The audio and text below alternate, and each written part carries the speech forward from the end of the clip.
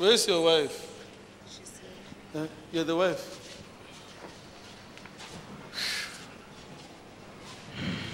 When did he marry you? 97. Huh? 97. But since then, you people, you are very much struggling. It's like you married each other two years ago because of the suffering you're going through. That's true. Huh? Very true, man of The, God. the people, they have left this man uh, in the family. They say you are controlling him. And you need to pray for the family now and Amen. love everyone in the family. Amen. You understand? You will win them for God. Thank This you. man, you have got to cry for his family mm-hmm. to be saved. Amen. You understand? Amen.